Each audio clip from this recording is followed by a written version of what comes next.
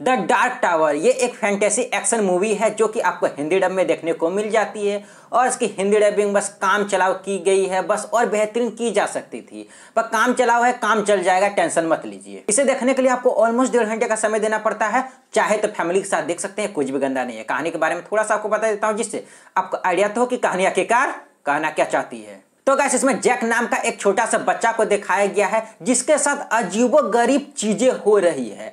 तो वह अजीबो गरीब चीज़ें क्या है? एंड उस बच्चे के पीछे कुछ बुरे लोग पड़े हुए हैं। तो वह बुरे लोग क्या है? और इसमें एक टावर का भी कॉन्सेप्ट है। तो उस टावर का क्या कॉन्सेप्ट है? और फ़िल्म में आगे कौन सा ट्विस्ट एंड टर्न आता है? ये सब जानने के लिए तो आपको ये फ़िल्म को देखना पड़ता है। तो गैस ये एक वन टाइम वॉचेबल मूवी है। बहुत अच्छी फ़िल्म नहीं है, बस ठीक ठाक सी फ़िल्म है। यदि आपको फैंटेसी एक्शन मूवी देखना पसंद है तो ये आपको ठीक ठाक सी लगेगी। एक्स्ट्रा ऑर्डनरी कुछ भी नहीं है। बस ठीक ठाक सा है। इसमें जितना भी एक्शन दिखाया गया है ठीक ठाक सा है। थोड़ा सा एक्शन को और ज़्यादा देना चाहिए था। थोड़ा एक्शन की कमी लगती है फ़िल्म में।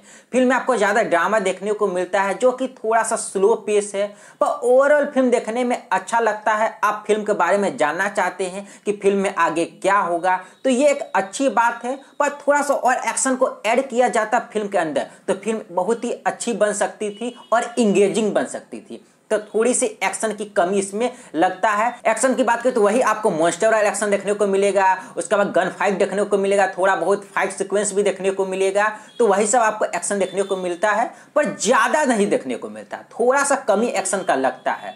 पर ओवरऑल ठीक ठाक सी फ़िल्म है। परफॉर्मेंस की बात करूँ तो इसमें आपको अच्छे स्टार कास्ट देखने को मिलते हैं। बड़े बड़े एक्टर्स देखने को मिलते हैं और एक्टिंग सभी ने बहुत ही बढ़िया की है। प्रोडक्शन क्वालिटी आपको अच्छा देखने को मिलता है। जिस तरह से इसमें सिनेमेटोग्राफी का उपयोग किया गया है, वो बहुत ही अच्छा बहुत ही टॉप नोच इसका सिनेमेटोग्राफी और जिस लोकेशन में फ़िल्म को शूट किया गया वह सब देखने में अच्छा लगता है और जितना भी सीजाई वी का वर्क किया गया है वह सब ठीक ठाक सा है। मतलब कहीं कहीं आपको थोड़ा बहुत फ्लो देखने को मिलता है, पर ओवरऑल अच्छा है। डिसअपॉइंट डिसअपॉइंटमेंट नहीं होगा। और फिर यही बोलूँगा, कहानी में आपको कुछ भी नयापन देखने को नहीं मिलता है। इस तरह की कहानी आपने बहुत बार एक्सपीरियंस किया होगा। तो कहानी से आप ज़्यादा उम्मीद नहीं लगा सकते हैं। और थोड़ा सा फ़िल्म में इंटेंस माहौल की मुझे कमी लगी। थोड़ा सा इंटेंस माहौल देना चाहिए। मतलब उतना इंटेंस माहौल फ़िल्म का अंदर नहीं है।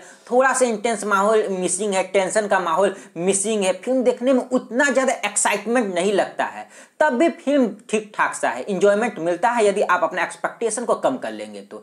तो इस फ़िल्म को लेकर हमें फाइनल वर्ल्ड है कि ये एक वन टाइम वॉचेबल मूवी है। एक्सपेक्टेशन को कम करके इस फ़िल्म को देख सकते हैं इंजॉय करेंगे। तो मिलते हैं कने वीडियो में, तब तक के लिए जय हिंद, वंदे मातरम।